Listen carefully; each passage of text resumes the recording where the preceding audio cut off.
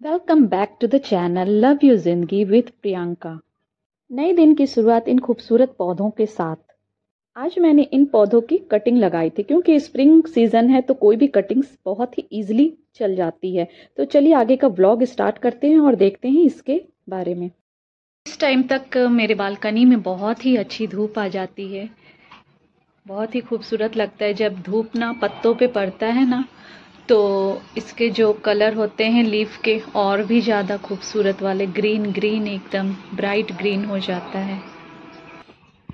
और मेरी बालकनी में जो धूप आती है ना, बस यहीं तक ये दो टाइल्स तक ही आती है। ये जो देख रहे हो ना, ये चार टाइल्स, दो टाइल्स नहीं है ये ये चार टाइल्स तक ही आती है यहाँ तक, और ये पूरे रेलिंग पर है धूप। तो फिर मैं क्या करती हूँ कि ये हैंगिंग प्लांटर्स ऊपर में लगाती हूँ फ्लावरिंग प्लांट के लिए क्योंकि इनको ज़्यादा धूप की ज़रूरत होती है तो। और जो मेरे रोज़ हैं, देखो तो कितने प्यारे हैं ना वाइट वाले, बिल्कुल बंच आया हुआ है। और ये सूख गया है तो इसको निकाल देती हूँ। इस तरह से। और यहाँ पे धूप आती है तो जगह की प्रॉब्लम है स्पेस कम है तो मैं ना रेलिंग प्लांटर्स इस तरह से जो लोहे वाले होते हैं ना, ये जो देख रहे हो तो इस तरह से लगाती हूँ तो गुलाब को धूप आती है। यहाँ पे गुलाब रख देती हूँ, इसी में पॉट करके, ये बहुत ही अच्छा है। ये इस तरह का है ये। ये अमेजोन पे आपको मिल जाएगा। अगर ऐसी प्रॉब्लम आप फेस करते हो कि धूप कम आती है, आपकी बालकनी में सिर्फ़ रेलिंग तक ही रह जाती है और इसके नीचे थोड़ा तो आप इस तरह का हैंगिंग प्लांटर आप अपने रेलिंग पे लगा सकते हो। ये जीनिया का सैपलिंग है।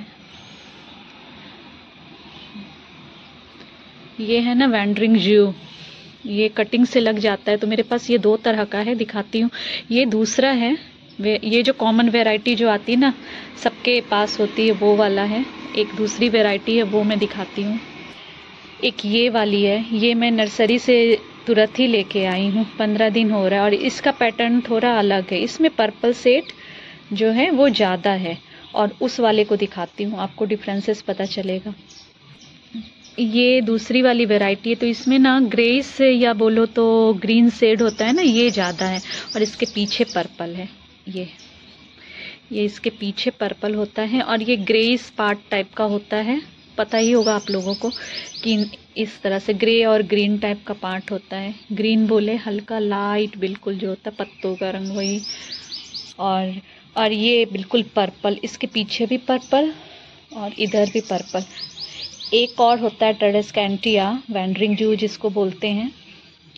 उस वाले में ये वाला पार्ट ज़्यादा है, इसमें ये वाला पार्ट कम है। तो वो वाइट पे डार्क पर्पल होता है, ये बहुत ही खूबसूरत और कटिंग से लग जाता है ये प्लांट तो आज मैं आपको बता रही, बताऊँगी कि कटिंग से लगने वाले कौन कौन से प्लांट हैं। चलिए देखते हैं कि फिर कटिंग से कौन कौन से प्लांट है। एक तो ये वैंडरिंग जू है, कहीं से भी इस तरह से तोड़ लो और इसको लगा दो। मैं लगा भी देती हूँ इसको। इसको मैं, ये फ्लावरिंग भी कर रहा था अभी कुछ टाइम पहले तक। ये स्प्रिंग सीज़न में बहुत इसी अच्छे अच्छे प्लांट पे फ्लावर आ जाते हैं, बहुत ही खूबसूरत। तो यहाँ से मैं ना इसको, ये जो नॉड एरिया है ना, उसके थोड़ा सा नीचे से ऐसे कट कर लूँगी। ये पिंचिंग ही करो ना तो अच्छे से कट जाता है। तो ये इस तरह से, ये देखो कट गया। तो इसका नॉड एरिया ये है, मैं इसको अच्छे से कट कर लूँगी यहाँ कैंची से। और इसको मैं लगा दूँगी सॉइल में।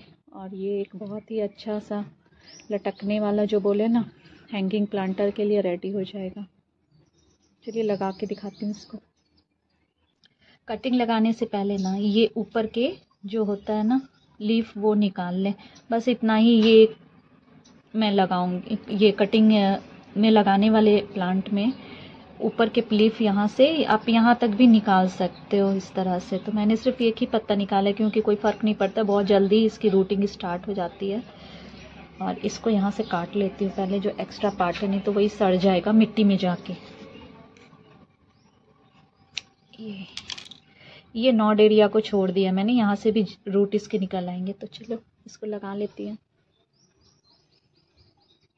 करने वाली हूँ इस खूबसूरत से प्लांट की रिपोर्टिंग तो मैंने आपकी इसकी दूसरी वैरायटी भी दिखाई थी, वो सबके घरों में आता ही रहता ही है, वो सबके घर में रहता ही है। तो ये दूसरी वाली वैरायटी है तो ये इस तरह से है। उस वाली वैरायटी में ये जो डार्क सेट था ना, वो ये कम था, ये पर्पल का डार्क सेट और ये ग्रे वाला जो है ना ग्रीनिश ग्रे जो है तो वो कम था। तो ये दूसरा वाला ट्रेडिश कैंटिया या वेंट्रिंग जू है तो ये इतना, एक और था मेरे पास बट अनफॉर्चुनेटली वो डेड हो गया, वो उसमें वाइट और पर्पल का कॉम्बिनेशन वाला था। तो मैंने सोचा कि इसकी कटिंग निकाली है तो इसकी कटिंग इसमें लगा दूँगी मैं और इसको जो है, इस वाले पॉट में शिफ्ट कर दूँगी। तो ये काफ़ी छोटा हो गया और ये बूशी भी हो गया। इसको मैं पंद्रह दिन पहले नर्सरी से लेके आई थी तो ये फैल गया। और ब्लूम भी दे रहा था। यहाँ पे इसके छोटे छोटे पर्पल टाइप के फ्लावर आते हैं। तो वो ब्लूमिंग भी कर रहा था अभी बट अभी ब्लूमिंग बंद हो गई तो सोचा कि मैं चलो कर देती हूँ इसकी रिपोर्टिंग फिर देखते हैं, इसके लिए रिपोर्टिंग के लिए मैंने ना कोकोपिट और गार्डन सॉइल ही यूज़ किया है और थोड़ा कंपोस्ट मिलाया है। फिर करते हैं इसकी रिपोर्टिंग और इस वाले को छोटे वाले में मैं डाल दूँगी। पहले मिट्टी को उलट लेती हूँ। क्योंकि इसमें पहले एक प्लांट लगा हुआ था। और उसको मैंने निकाल दिया क्योंकि वो डेड हो गया था। चलिए। मिट्टी भी चेक कर लिया है मैंने कि हाँ जब भी कोई रिपोर्टिंग करे और पुरानी मिट्टी का यूज़ करे तो चेकिंग कर लें कि उसमें वो मिट्टी सही है या नहीं है। अगर मिट्टी में फंगस वंगस लगा हो तो पंजी साइड डाल दे। और इसमें क्या एक अच्छी चीज़ मुझे दिखी ना, ये अर्थवॉर्म है। दिख रहा है आपको? ये अर्थवॉर्म है इसमें। तो इसको मैं साइड में रख देती हूँ, नहीं तो बेचारा कट वट जाएगा। तो फिर इसको बाद में ऊपर से मैं डाल दूँगी। मिट्टी सॉइल में ही से डाल दूँगी मैं। ये अर्थवॉर्म है जो। और देख रही हूँ, है नहीं नहीं तो वो क्या खुरपुर पर लग के वो डेड हो जाता है। ये जो मिट्टी है ना, वो ठीक है। और इसमें अर्थवॉर्म भी था। और इसमें पहले से ऑलरेडी कंपोस्ट और गार्डन सॉइल मिलाया हुआ है। पहले इस पॉट में कोई दूसरा प्लांट था तो फिर वो डेड हो गया था। तो फिर मैंने उसकी सॉइल यूज़ में ले लिया। तो मिट्टी को आप फेंकें ना तो वो पुरानी मिट्टी को ही हवा धूप लगा करके उसको फ्रेश कर लें और उसे यूज़ में ले आए। क्योंकि मिट्टी की एक लेयर बनने में काफ़ी टाइम लग जाता है। तो इसमें मैं मिलाऊँगी थोड़ा सा परलाइट इसको वेल ड्रेन करने के लिए, क्योंकि इसमें कोकोपीट था।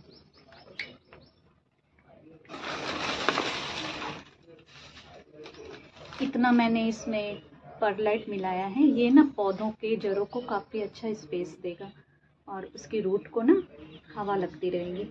इसमें थोड़ा परलाइट मिला लिया मैंने और इसको मिला लूँगी। तो ये परलाइट मिला के इसको थोड़ा मिला लेंगे। कोई फर्टिलाइज़र नहीं होता है। ये एक और मुझे अर्थवॉर्म दिख रहा है। आ, ये ना पौधों को पौधे की जड़ को ना आप सैंड भी मिला सकते हो। पौधे की जड़ को ना हवा लगाता है जैसे एक स्पेस देता है। उस तरह का ये हो जाता है। तो इसमें मैंने परलेट मिक्स कर लिया है। अब इसको आराम से मैं निकाल लूँगी इस वाले प्लांट को, इसमें से।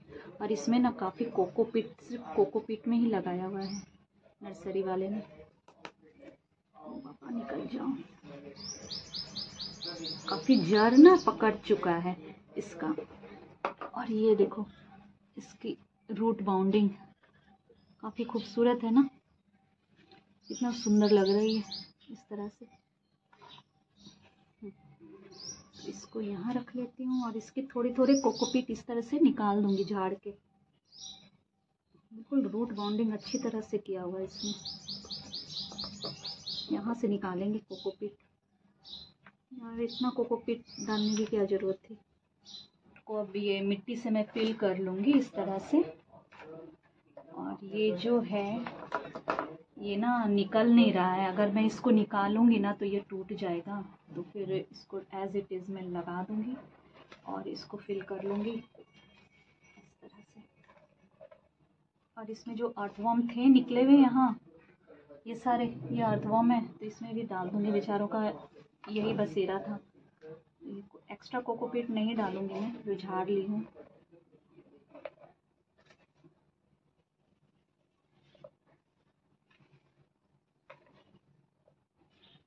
और जब भी रिपोर्टिंग करें ना तो फिर वो प्लांट को ना पॉट के बिल्कुल सेंटर में लगाने की कोशिश करें। एक साइड में अगर किनारे में लगा देंगे तो वो साइड से झुक जाएगा। मतलब एक साइड में ही वो इस तरह से बैंड होता रहेगा और उसको फिल करता रहेगा किनारे किनारे। जो भी बढ़ने वाले पौधे हैं ना, इस तरह। और अगर बीच में लगाएँगे तो वो चारों तरफ़ फैलेगा। मैंने इसकी रिपोर्टिंग कर दी है। ये हो गया। अब इसमें ये अच्छे से पहले से अच्छा दिख रहा है। सारे चले गए हैं। इसके अर्थवॉर्म के भी फैमिली मेम्बरशिप पूरे हो गए चले गए। तो ये हो गया मेरा ये। कितना प्यारा लग रहा है ना ये ट्रेडस कैंटिया देखो। तो अब जो इसकी कटिंग लगनी है, वो भी लगा लेती हूँ। रख देती हूँ। और इसी की कटिंग मैं इसी में लगा लूँगी। ये जो बचा हुआ जो सॉइल मिक्सचर है ना, मैंने मिला दिया है। तो इसमें भर लिया मैंने थोड़ा, और इसको जो नॉड एरिया से दिखाया था, इसको इसमें लगा दूँगी। इस तरह से हो गया ये। मेरा एक और प्लांट रेडी हो गया। बहुत ही आराम से तैयार हो गया। इसको किसी को गिफ्ट दे सकते हो, आप किसी फ्रेंड को गिफ्ट दे सकते हो, या घर में इंडोर रख सकते हो आप जहाँ पे ब्राइट लाइट आती हो, वहाँ ये आराम से चला जाएगा ये पौधा। बहुत ही कम पानी चाहिए इसको। कटिंग से लगने वाले पौधे को बहुत ही कम पानी चाहिए होता है। और इसमें थोड़ा पानी दे दूँगी मैं दोनों। जब भी रिपोर्टिंग करे, पानी देना ना भूले पौधे को। एक बार तो अच्छे से पानी पिला ही दे।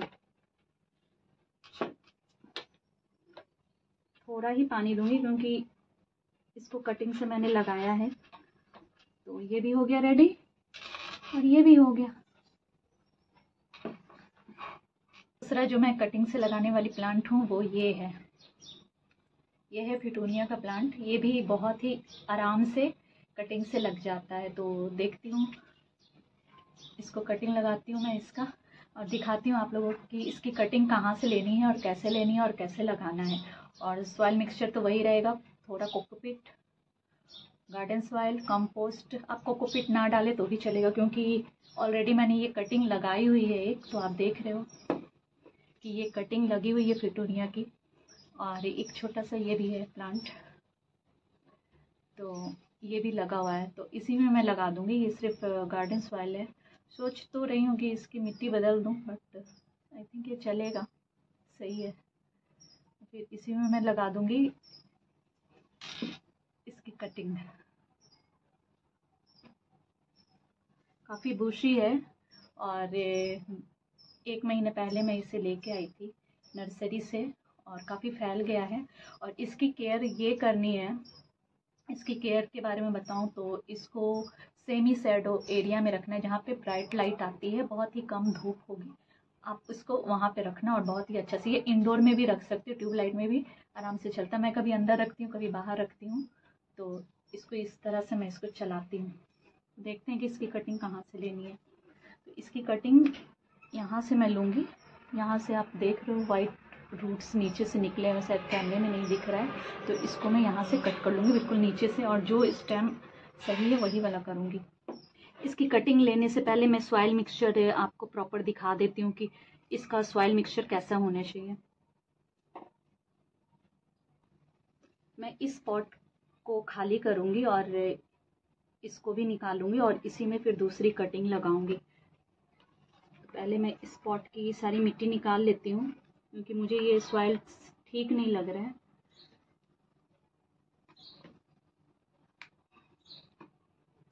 और इसका रूट भी दिखा देती हूँ कि ये देखो, इसके रूट्स नज़र आ रहे होंगे आपको। ये पंद्रह दिन का फिफ्टीन डेज़ पहले का है। हाँ अब देखा, ये क्लियर तो पंद्रह दिन पहले मैंने इस पिटूनिया के प्लांट को आ, कटिंग के थ्रू लगाया था। मैं इसकी पहले सॉइल चेंज कर लूँगी क्योंकि मुझे ये सॉइल सही नहीं लग रहा है। तो सेम तरह की जैसे इसकी मैंने पॉटिंग मिक्स बनाई थी सेम उसी तरह की मैं बनाने वाली क्योंकि ये भी कटिंग के थ्रू ही मैं लगाऊँगी। तो वही इसके लिए मैंने एक लिया है एक मुट्ठी के करीब परलाइट और इसमें ऑलरेडी कंपोस्ट और गार्डन सॉइल मिक्स है तो इसको अच्छी तरह से मिक्स कर लूँगी। और इसकी जो मिट्टी बची हुई थी, वो भी मैं डाल दूँगी। इसमें एक कीड़ा भी निकला। ओ माय गॉड कीड़ा क्या ये मोटू सा? ये पता नहीं प्लांट में ही रहते हैं। और जब भी और जब भी कटिंग से प्लांट आप लगाएँ ना तो छोटा सा ही पॉट लें। इस तरह से नर्सरी पॉट आता है, इसमें बहुत सारे होल होते हैं। तो इस तरह से ये अमेजोन पे भी मिल जाएँगे आपको। इसमें जो मिट्टी लगी हुई थी ना, वो चिकनी मिट्टी लगी हुई थी। मैंने ध्यान नहीं दिया था एक्चुअली ये मैं लाई थी, इसमें प्लांट था। नर्सरी से लाई थी तो। नर्सरी वाले तो हमेशा चिकनी मिट्टी ही देते हैं। तो इस तरह से मैंने नर्सरी पॉट ले लिया है।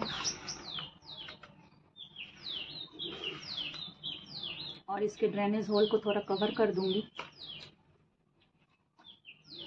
नहीं तो सारा जो भी मैं फर्टिलाइज़र डालूँगी या पानी डालूँगी, पूरा ही निकल जाएगा।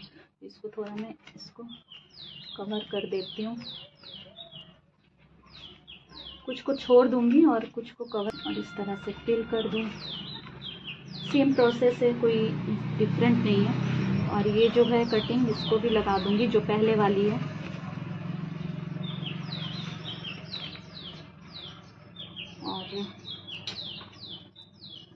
अब मैं इसकी दिखाती हूँ कि इसकी कटिंग कहाँ से लेनी है।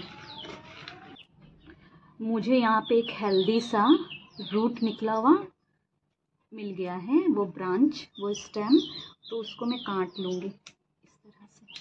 ना ये नॉड एरिया से खुद ब खुद रूटिंग स्टार्ट कर देता है। ये देख लो, छोटा सा है रूट आपको दिख रहा होगा। तो ये मैंने एक ले लिया है। मैं एक ही लूँगी। लेकिन मुझे इसे काटना नहीं अच्छा लग रहा है। चलो भाई। ये जो है, इसको भी मैं इस यहाँ पे लगा लेती हूँ। अच्छे से लग जाएगा ये और इसको भी फिल कर दूँगी सॉइल से।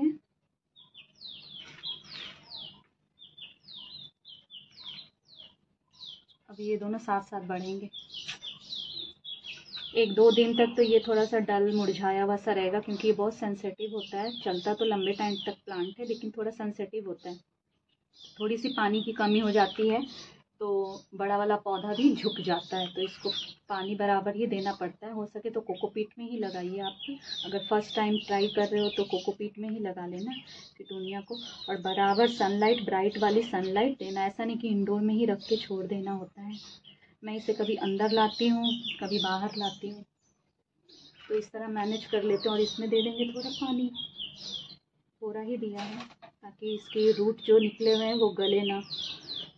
तो मेरा ये भी हो गया खूबसूरत सा प्लांट रेडी अब फोकस करा कैमरे ने। हम्म, एक तो ये ट्रेडिस कैंटिया पर्पल वाला और ये एक फिटोनिया महीने में एक बार आप कम से कम महीने में तो ले ही लीजिए, एक बार लिक्विड फर्टिलाइज़र दे दीजिए। और लिक्विड फर्टिलाइज़र ऑलरेडी मैंने बताया हुआ है अपने चैनल पे कि किस तरह से बनाना है।